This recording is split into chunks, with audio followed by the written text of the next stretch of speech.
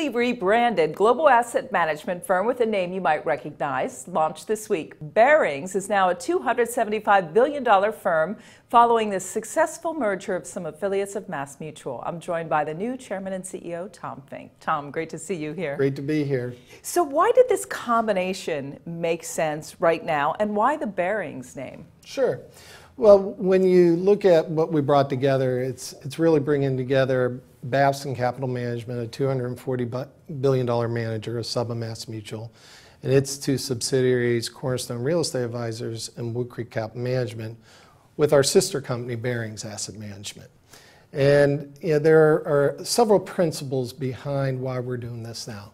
First and foremost is across those firms we had very complementary capabilities global fixed income and global credit, uh, in particular at Babson, uh, international equities at Barings, real estate at Cornerstone, obviously, and, and then alternatives at Wood Creek.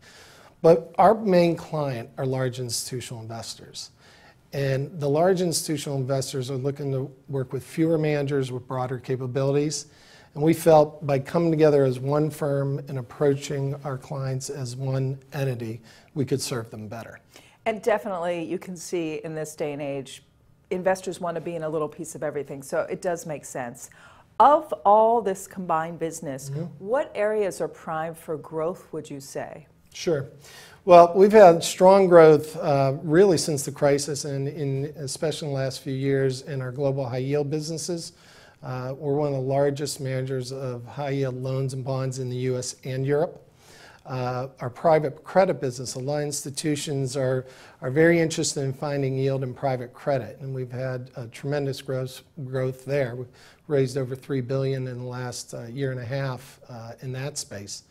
But there's other places that are growing. Real estate is a growth business. We think there's opportunities to expand beyond our footprint in the US and Europe into Asia. Mm. Uh, and then alternatives is, is a big part of that growth strategy as well. Uh, clearly, alternative assets are in, in high demand. We have strong capabilities between uh, the Babson and Wood Creek team coming together as Baring alternatives. Again, this search for yield and trying to really maximize investments. It's critical. In the direct lending business, in terms mm-hmm. of growth opportunities, how might that shape out over the next couple of years? Well, for, for many, they see that as a new, new place to be, and actually, it's a place we've been for a long time. Uh, we've been in the uh, sponsor driven mezz business in the US for decades, uh, and we've been in the market in Europe since 04 and in Asia Pac since 09. So, what we've done is really brought together it as one platform. And what we're doing is really being able to offer investors the opportunity to get yield but also diversify around the globe in terms of credit risk and, and portfolio concentration. Does this broader combination help you on the fee side of your business, or is asset management such these days where there's not as much um, wiggle room, if you will, on the fee side? Well, it's really about understanding where fees are going. And, and if you think about business in general, we, we are seeing a deflationary trend in a lot of industries, and asset management's no different.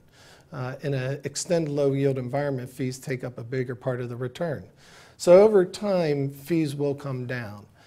What this does for us is allow us to be more efficient, to scale more of our fixed costs by bringing our distribution teams together across Barings and Babson. We now can scale a, a more efficient distribution system, for instance. Um, and, and, there are other areas, obviously, in infrastructure, risk management, the cost of doing business. We all know that compliance costs have grown dramatically in asset management and, and the ability to scale that instead of having overlapping, uh, overlapping pieces. We've touched on a number of issues, but what is the biggest challenge right now in your industry that you kind of think of when you move forward? Is it on the cost side? Is it regulation or is it something else? Regulation is, is clearly a big cost. I think a larger manager like us has ability to scale their investment in that. Uh, so that um, you know, is an issue for everybody. Maybe it's more of an issue for smaller firms because we have to all play by the same rules.